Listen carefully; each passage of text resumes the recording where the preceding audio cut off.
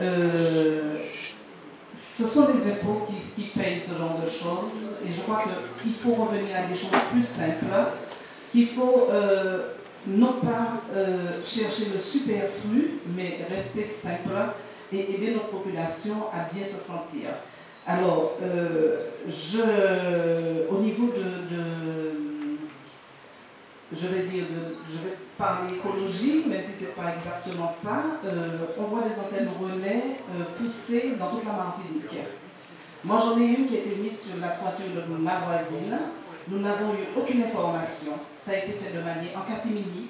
Nous n'avons pas vu de permis de construire. Alors, c'est entre le pharmacien Bouratel et moi-même, mais nous avons intenté une procédure. Mais ce sont des lobbies, et dans les plus hautes sphères de l'État, ces choses-là sont cautionnées sans tenir compte de la santé des citoyens.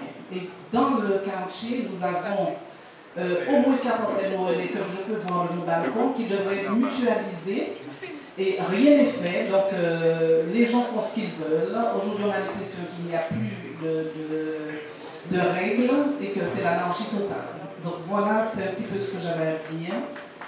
Euh, voilà, c'est